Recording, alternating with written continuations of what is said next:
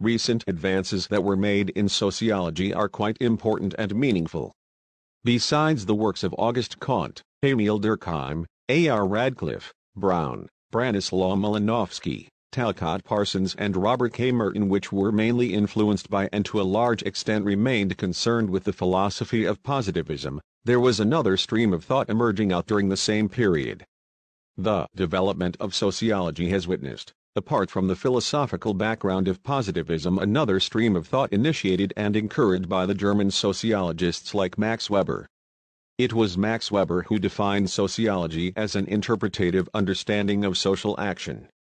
Max Weber initiated the debate on why the elements of subjectivity, subjective understanding and Verstehen should be included in sociology.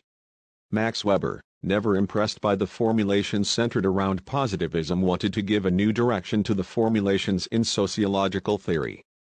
In fact the whole debate centered around the issues of subjectivity versus objectivity was initiated and inspired by Max Weber. In fact, sociology as a subject has been strengthened by the efforts made by Max Weber. Here a reference to only two such new areas of research namely phenomenology and ethnomethodology shall be made.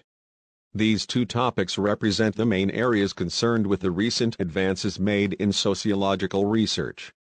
Two other topics require a mention here as they have emerged in the recent times, they are postmodernism and globalization.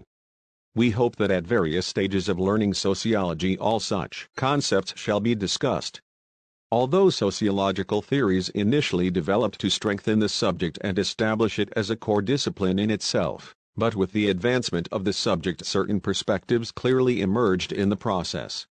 Here a reference shall be made to only such perspectives which have had a direct bearing upon the development of sociology.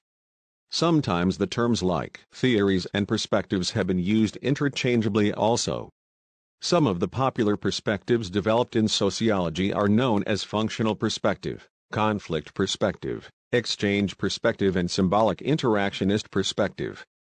Although several scholars in one or another way have been associated different perspectives but here only those thinkers shall be mentioned whose names are generally familiar to us.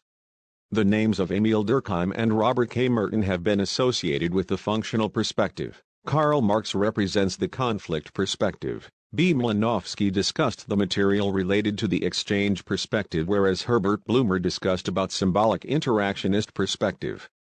Here it might be advised that while discussing about sociological theories, it would be relevant to keep in mind the role of thinkers, as well as that of various perspectives to which they were